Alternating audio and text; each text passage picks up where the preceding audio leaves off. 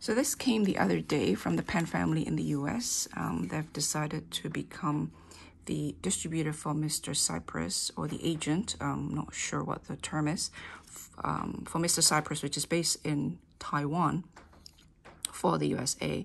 The reason why I bought it from the Pen family and not from Mr. Cypress directly is because the Pen family issued a discount code and after calculating for shipping fee, uh, exchange rates with the discount code, it is more or less um, just slightly cheaper, just slightly, not by much.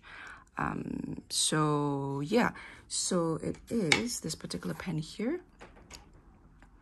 Uh, I believe this was made of some kind of fiberglass that is used to make um, aircrafts. And so initially I thought it was ebonite for some reason because I have uh, something similar made of polished I think it's German ebonite. I, I can't remember, but I'll, I'll put a link up here for you to have a look at it.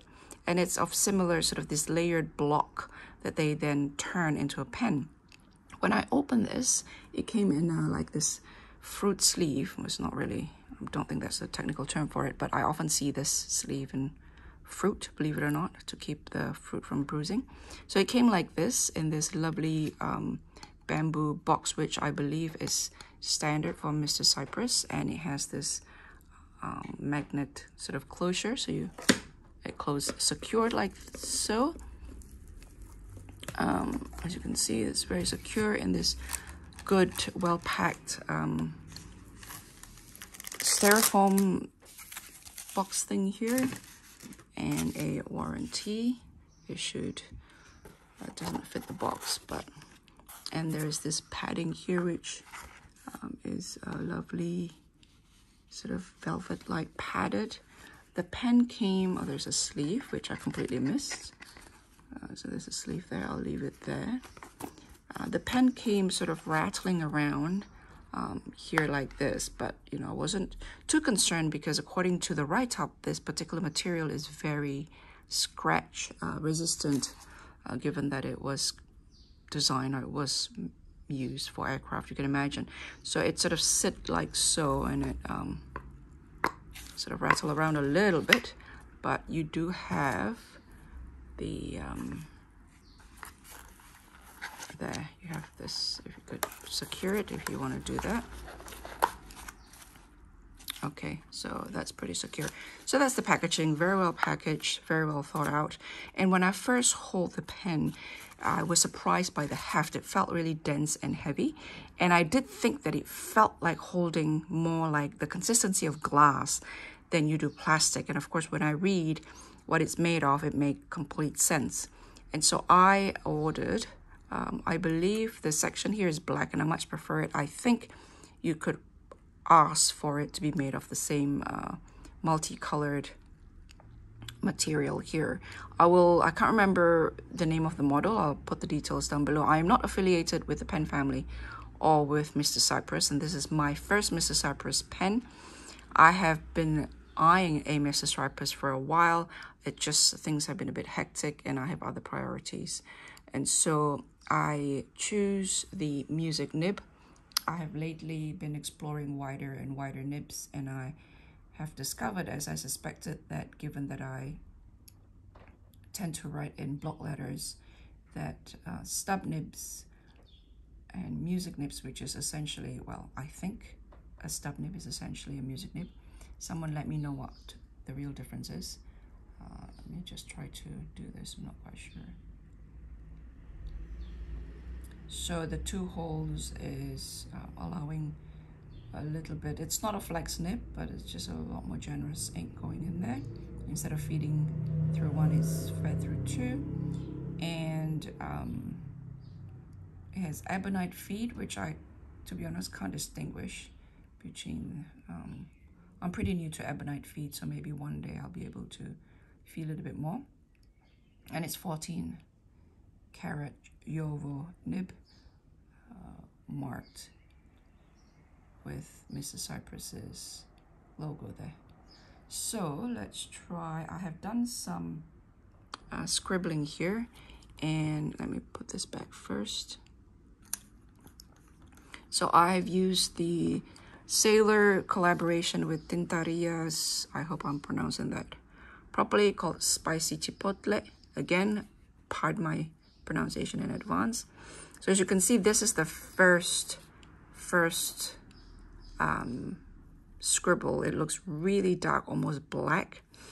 And this is a collaboration between Sailor and Tinterias.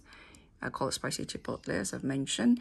And it is the, the color of red beans. So if you have ever eaten refried red bean, it's that kind of reddish, bluish brown. And in a certain light in the bottle, when I tilted the ink, I actually saw a hint of blue, a hint of green, and um, I don't know if you can see a little bit of it on my finger. Um, it's completely washed away now, but I have a photo of it somewhere which I may insert here. Um, it's actually pink. You can see a little bit of it left there. Uh, when I wipe my fingers, what was left of the brown ink was this bright pink color. So imagine pink, green, and blue underneath the brown. And I just love Sailor's ink for this. I know there are other ink that um, ink makers who create such um, sophisticated and very multi-dimensional, um, what's the term? Chromatography, I think it's called. Uh, but my current experience has been limited to a few um, inks are not my area of exploration just yet, but I think I'm beginning to. After two years of focusing on the pens and the nibs, I'm finally exploring inks. Uh, sadly, the spicy chipotle is no longer made. They only make 300 bottles, and I'm very, very sad to say that they won't be making any more.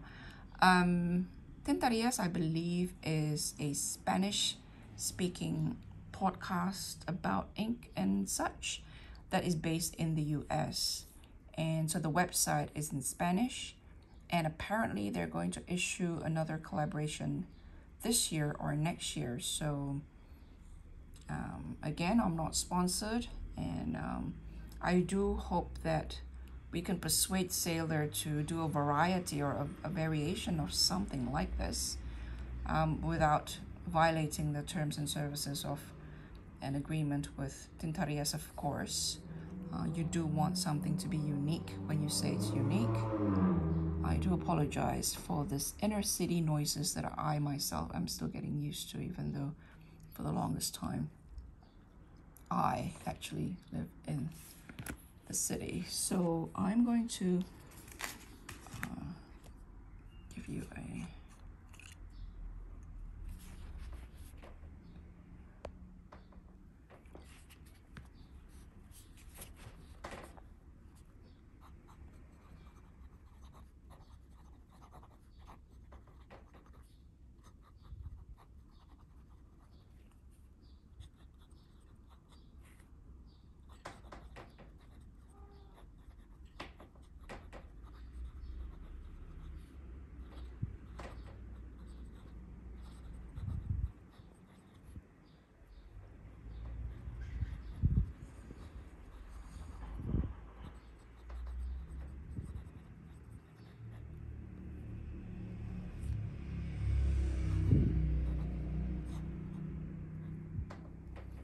very, very, um, very comfortable. This combination of this ink, this nib, and this paper. This is um,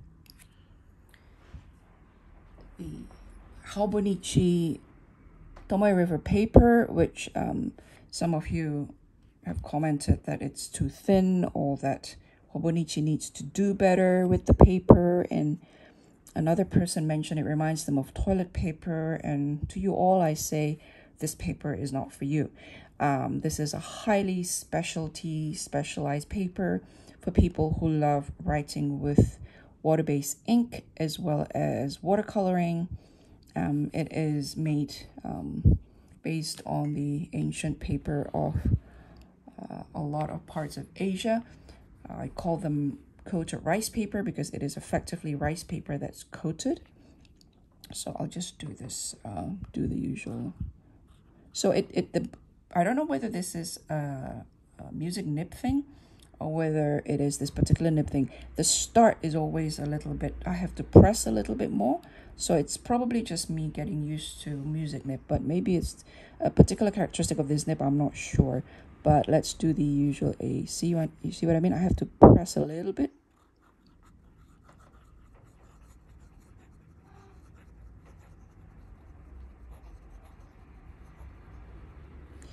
Um,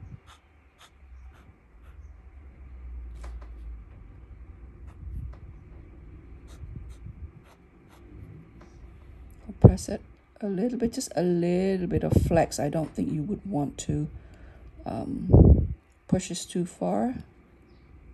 And the curve.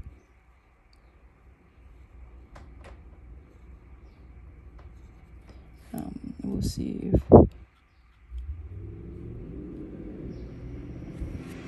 so it's a pretty oh I do apologize. This is oh my god the noises. Anyway um, so that is the Mrs. Cypress Cadence I think the, the name of this is multicolored version of the model. There's a monochromatic ones. And the ink is Tinterias and Sailor Spicy Chipotle. Hold on let me grab you the Ladybird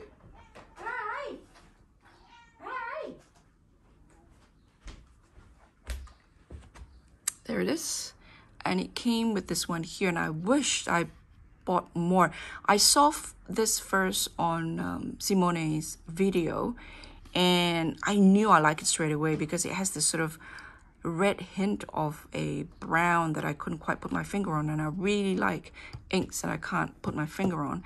So if you have one that you don't really like, you decide that you don't like the spicy chipotle, please DM me on Instagram at to my bookshelf and I'll be glad to buy it off you.